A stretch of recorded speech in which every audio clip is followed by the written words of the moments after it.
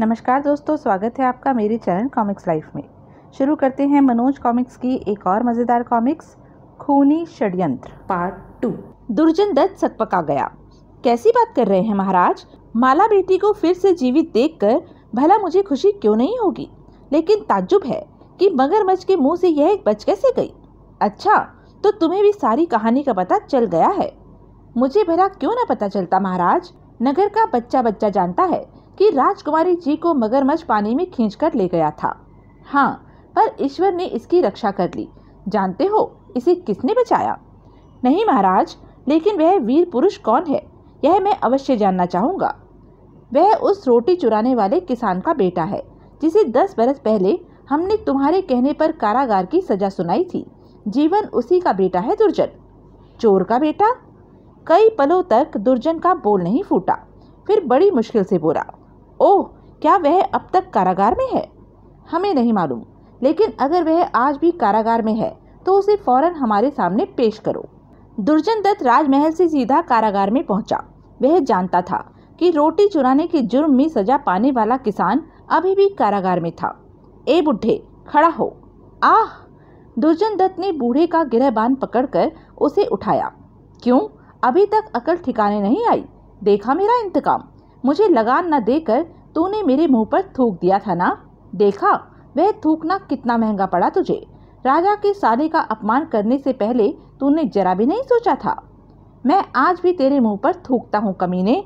कोतवाल ने गुस्से में भरकर बूढ़े को मारना शुरू कर दिया और उसे ज़मीन पर पटक दिया। फिर पहरेदार का कोड़ा लेकर सड़ासड़ उसे पीटने लगा। हराम जादे मैं तेरी खाल खींच लूँगा।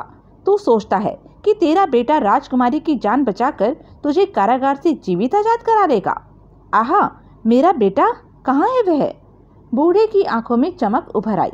आहा, मेरा बेटा जीवित है। दुर्जन, अब तो मुझे मार मार कर चाहे अधमरा कर दे, चाहे मुझे जान से मार डाल, पर मुझे मेरे बच्चों से मिला दे। बस, एक बार मुझे मेरे बच्चों से मिला दे। अब तो वे बड़े हो गए होंगे। कहाँ है वे? तू मुझे उनसे मिलवाएगा ना? बोल। अरे कुछ तो बोल, ज़रूर मिलवाऊँगा। दो तो पहले ही ऊपर चले गए थे, पर ना जाने यह तीसरा कैसे बच गया। लेकिन अब इस जीवन के बच्चे को मौत के मुँह से कोई नहीं बचा सकता। फिर तुझे भी भेज दूँगा उससे मिलने के लिए। नहीं, यह नहीं हो सकता। तू उसे नहीं मार सकता। दुर्जन दत्त कारागार से सीधा राजा के पास आया और उनसे झूठ बोला।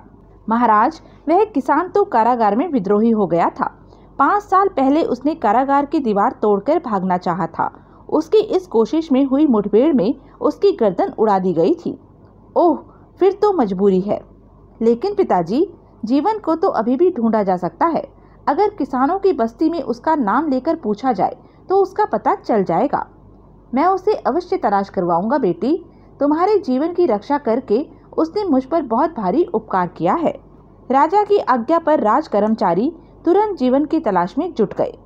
क्यों भाई? इस गाँव में कोई जीवन नाम का युवक रहता है। उसके पिता को रोटी की चोरी के जुर्म में कई बरस पहले सजा हुई थी। हाँ हाँ रहता है, पर इस समय तो वह जंगल में लकड़ी काटने गया होगा।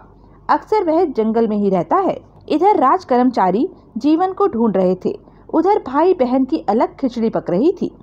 बहन, मैं जो कुछ भी कर रहा हूँ, तेरे भले के लिए ही कर रहा हूँ। तू सोच ले। अगर राजा ने उस युवक को तलाश करवा लिया तो वह उसे ज़रूर राज्य में कोई ऊँचा ओहदा देगा। मुझे तो यह भी लगता है कि कहीं वह अपनी बेटी की शादी ही उससे न कर दे। नहीं, ऐसा नहीं हो सकता। मेरे जीते जी ऐसा कभी नहीं हो सकता। दुर्जन दत्त ने अपनी बहन को समझाया, और अगर ऐसा हो गया तो इस राज्य पर पूर्ण अधिकार करने का तेरा सपना कभी पूरा नहीं होगा। तब मैं उन दोनों को ही रास्ते से हटा दूँगी। मेरा काम तुझे सतर्क करने का था, बहन। बाकी तू जाने, मैं तेरे साथ हूँ। जैसा तू कहेगी, वैसा हो जाएगा। भैया, मुझे एक तुम्हारा ही तो सहारा है। आखिरकार राज कर्मचारियों ने जीवन को खोज ही निकाला। क्यों भाई? तुम्हारा ही नाम जीवन है। तुम ही राजकुमारी को छोड़ने महल पर आए थे।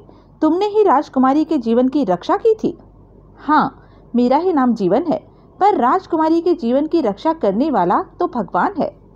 यह तुम्हारी महानता है भाई, जो तुम ऐसा कहते हो। नीचे आओ। महाराज तुमसे मिलने के लिए बहुत उत्सुक है। तुमसे मिले बिना उन्हें एक पल का भी चैन नहीं है। वो तो ठीक है, पर राजकुमारी तो मुझे दरवाजे पर छोड़कर ऐसे चुपचाप आपके साथ चली गई थी, जैसे मुझे पहचानती ही ना हो। इस संबंध में राजकुमारी जी को दोष न दो। उन्होंने मुझे तुम्हें अतिथि गृह में बैठाने का आदेश दिया था, लेकिन जब तक मैं लौटा, तुम जा चुके थे। मैं इसके लिए क्षमा प्रार्थी हूँ। अरे, नहीं नहीं भला इसमें क्षमा मांगने की क्या बात है? मैं कोई यहाँ का राजा हूँ? ठहरो, मैं अभी तुम्हारे साथ चलता हूँ। राजा को जीवन इतना पसंद आया कि उसके मन में विचार उठा कि क्यों न अपनी बेटी माला की शादी जीवन से कर दी जाए। बेटी, इस बहादुर नौजवान ने तुम्हारे जीवन की रक्षा की है, अतः तुम्हारे जीवन पर अब इसी का अधिकार है। मेरे ख्याल से इससे अच्छा योग्य वर तुम्हारे लिए दूसरा नहीं हो सकता। पिताजी, आप मुझसे क्यों पूछ रहे हैं? इन्हीं से पूछिए। राजा की प्रसन्नता को जीवन ठुकरा नहीं सका और एक दिन शुभ मुहूर्त में राजा ने दोनों की शादी कर दी। बेटा, तुम्हारी बहादुरी का इससे बड़ा उपहार मैं तुम्हें दूसरा नहीं दे सकता था। विवाह के बाद जीवन माला के साथ महल में ही रहने लगा। इस पर रानी और भी ज़्यादा जहर बुझी छुरी की तरह तेज हो गई। भैया, जल्दी ही अब कुछ करो, मुझसे अब और बर्दाश्त नहीं होता। जब से महाराज ने उस किसान के लड़के को अपना दामाद बनाकर महल में रखा है, तब से उन्होंने मेरा ख्याल ही छोड़ दिया है। बहन, मुझे तो यह भी पता है कि राजा जल्दी ही उस लक्कड़ हारे का रास तिलक करने वाले हैं। रानी क्रोध में भरकर फुफकार उठी। नहीं, मैं यह कदापि नहीं होने दूँगी। मैंने भी उन्हें दर दर की ठोकरें न खिलाई तो मेरा भी नाम दीपिका नहीं। कोई ऐसी तरकीब लड़ाओ बहन, कि सांप भी मर जाए और लाठी भी न टूटे। दिखा दो कोई त्रिया चरित्र। अपने भाई की बात सुनकर रानी सोचने लगी। मेरा भाई ठीक कहता है, मुझे कोई ऐसा उपाय करना होगा, जिससे राजा को शक भी ना हो और काम भी हो जाए। एक दिन मौका देखकर रानी ने अपना श्रृंगार बिगाड़ा। यह तरीका सबसे उत्तम है। फिर अपने कपड़े अस्त व्यस्त करके रानी कोप भवन में जा लेटी। राजा को समाचार मिला तो राजा भागा भागा आया। यह क्या महारानी? तुम यहाँ कोप भवन में क्यों पड़ी हो? क्या हुआ? कुछ नहीं। आप जाइए यहाँ से। इससे तो अच्छा था कि यह दिन देखने से पहले ही मैं मर जाती। पर हुआ क्या? कुछ बताओगी भी? या रोती ही रहोगी? किसी ने तुमसे कुछ कहा हो तो बताओ। मैं उसकी ज़ुबान खींच लूँगा। आप उसे कुछ नहीं कह सकते, क्योंकि वह आपका दामाद है। राजा चौंका। क्या? जीवन ने कुछ कहा है तुमसे? कहा तो नहीं, पर उसने ऐसी कुछ हरकत की है कि उसे कभी माफ़ नहीं कर सकती। राजा के चेहरे पर परेशानी के भाव बढ़ गए। साफ़ साफ़ कहो, क्या बात है?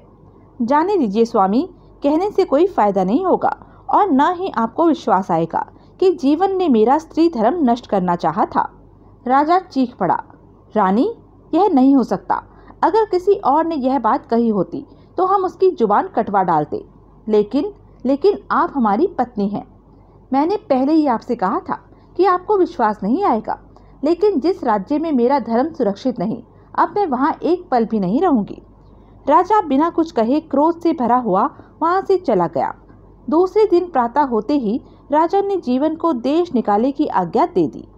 फिरोजाबाद के महाराजा अंगद की आज्ञा है कि जीवन लाल पुत्र मगन लाल आज संध्या से पूर्व यह राज्य छोड़कर चला जाए, वरना उसे बंदी बना लिया जाएगा और फांसी दे दी जाएगी। लेकिन क्यों? इन्होंने क्या किया है? हमें बताने की इजाज़त नहीं है, राजकुमारी जी। महामंत्री ने माला को समझाया। बेटी, कुछ अपराध ऐसे होते हैं, जिन्हें सार्वजनिक रूप से नहीं बताया जा सकता। इससे राजकुल की बदनामी होती है। जमाता जीवन की भलाई इसी में है कि वे यह राज्य छोड़कर चले जाए।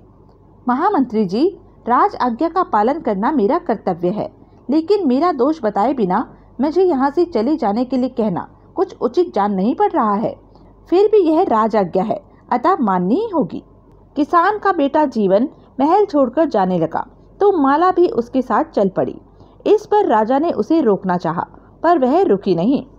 नहीं पिताजी, मुझे मत रोकिए। जहाँ मेरे स्वामी हैं, वहीं मैं हूँ। ठीक है बेटी, जाओ। ईश्वर तुम्हारी रक्षा करे। माला और जीवन महल छोड़कर चले गए तो राजा अपनी बेटी की याद में बीमार पड़ गया। वैदराज महाराज के जीवन को खतरा तो नहीं है?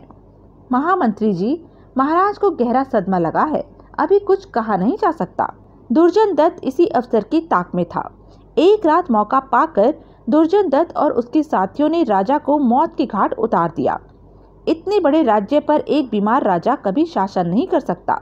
तुम्हारी जगह परलोक में है। आह! दुर्जन दत्त के संकेत पर सैनिकों ने महामंत्री और रानी को भी बंदी बना लिया। चलो, महाराज ने तुम्हें बंदी बनाने का हुक्म दिया है। यह क्या बकवास है? कौन महाराज? तभी द्वार से दुर्जन दत्त राजा का मुकुट सिर पर लगाए हुए भीतर आया और कुटिलता से मुस्कुराया। बहन, आज से यहाँ के महाराज हम ही हैं। तुम्हारे पति को हमने मौत की नींद सुला दिया है और तुम्हारे लिए बंदी गृह में बहुत अच्छा इंतज़ाम करा दिया है। नमक हराम, हत्यारे, अपनी गंदी ज़ुबान से मुझे पहन मत कह। मेरे सुहाग को मिटाते हुए तुझे जरा भी दया नहीं आई? दुर्जन दत्त ने ज़ोर से अट्टहास किया। हा हा हा, मुझे उपदेश देने वाली बहन, क्या तुझे अपने बेटे के बराबर दामाद पर झूठा लांछन लगाते हुए शर्म आई थी? बोल, दुर्जन, पाप और छल कपट से प्राप्त धन और राज्य अधिक समय तक साथ नहीं रहता। यह ज़िंदगी चार दिन की। दुर्जन दंत ने महामंत्री के कंधे का कपड़ा पकड़कर उसे ज़ोर से झटका दिया। महामंत्री के बच्चे, यह ज़िंदगी चार दिन की है। यह उपदेश बहुत बार सुन चुका हूँ। इस चार दिन की ज़िंदगी में अगर मुझे एक दिन का भी राज सुख और वैभव प्राप्त हो जाए तो मेरे लिए वही बहुत है। समझे? समझ गया। तो फिर बोल, महाराज दुर्जन दत्त की जय। महाराज दुर्जन दत्त की जय। महामंत्री को अपनी जय बोलते देख दुर्जन दत्त ने खुश होकर आदेश दिया। महामंत्री को छोड़ दो और रानी को बंदी गृह में डाल दो। जो आज्ञा महाराज रानी क्रोध में भरकर चीखने लगी। दुर्जन, तेरा सर्वनाश हो जाएगा। हा हा हा। दूसरी ओर माला और जीवन। एक दूसरे राज्य में मजदूरी और बोझा ढोकर अपना पेट पालने लगे। प्रिय, मेरे लिए तुमने अपना राजमहल का सुख क्यों छोड़ दिया? मैं तो पहले भी गरीब था, आज भी हूँ। मुझे कुछ फ़र्क नहीं पड़ता। लेकिन तुम, ऐसा न कहो स्वामी, आपके साथ ही मेरे जीवन का सुख दुख है। कुछ महीनों बाद माला ने एक सुंदर पुत्र को जन्म दिया। प्रिय, हम अपने बच्चे का नाम चंद्र किशोर रखेंगे। अच्छा नाम है। जो आपकी पसंद है, वही मेरी है। धीरे धीरे चंद्र किशोर चार साल का हो गया। माला, यात्रियों का एक दल शिवरात्रि पर काशी जा रहा है। हम भी उनके साथ चलेंगे। मुझे उनके दल में लकड़ी काट कर लाने और खाना पकाने में मदद करने का काम मिल गया है। अब हम अपने चंद्र किशोर के बाल भी काशी में ही उतरवा देंगे। यह तो बहुत खुशी की बात है, स्वामी। इस बहाने बाबा विश्वनाथ के दर्शन भी हो जाएँगे। लेकिन विधाता को तो कुछ और ही मंजूर था। एक रात जब उनका यात्री दल एक जंगल से गुजर रहा था तो डाकुओं के दल ने उन पर हमला कर दिया। खबरदार, अगर किसी ने भागने की कोशिश की तो मौत के घाट उतार दिया जाएगा। बचाओ!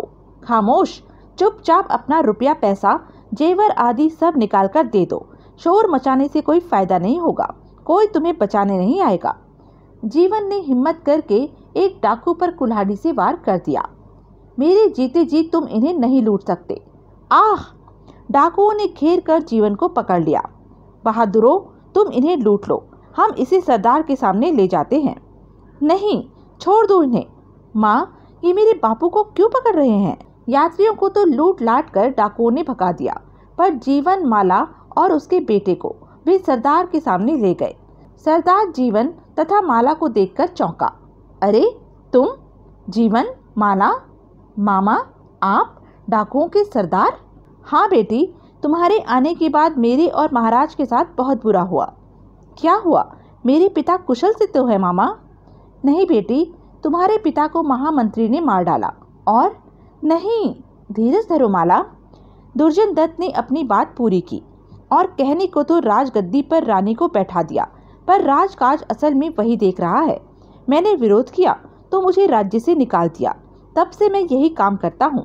डाका या लूटपाट में अपने लिए नहीं करता, बल्कि उस दुष्ट मंत्री से बदला लेने के लिए और सिपाहियों को तैयार करने के लिए करता हूँ।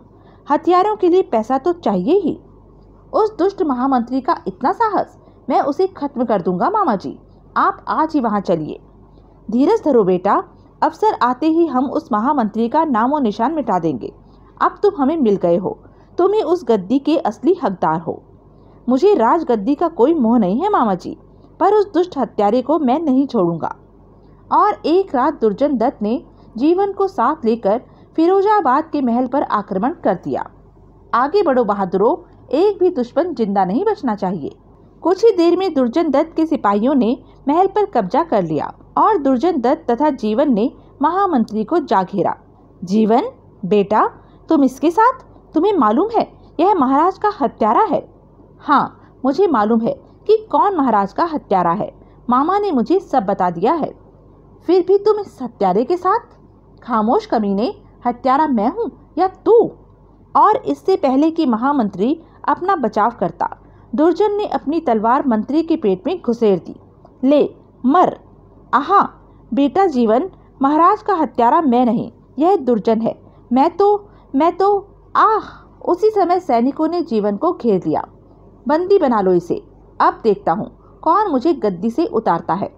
मामा, यह क्या बदतमीजी है?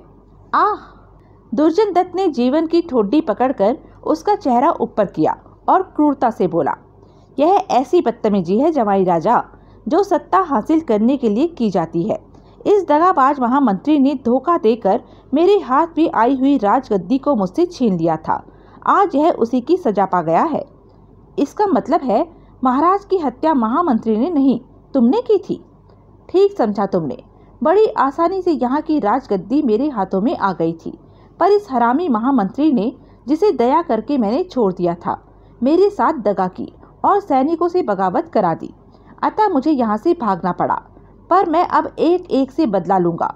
अभी मुझे अपनी उस कलमुही बहन को भी ढूंढना है। मेरे जाते ही उसे इस महामंत्री ने आज़ाद कर दिया था। उसी समय एक पर्दे की आड़ से बाहर निकलकर रानी ने एक कंजर फेंक कर दुर्जन दत्त की पीठ पे मारा। ले, मैं आ गई हत्यारे। आह, पकड़ो इसे। सैनिक रानी की ओर लपके, पर तभी जीवन कुल्हाड़ी तान कर उन पर झपटा। पीछे हटो, वरना एक को भी ज़िंदा नहीं छोड़ूँगा। दुर्जन के प्राण पखेरु उड़ गए। सैनिकों ने उसे मरा देखकर शस्त्र डाल दिए। रानी ने जीवन के सामने हाथ जोड़े। बेटा, मुझे माफ़ कर दो।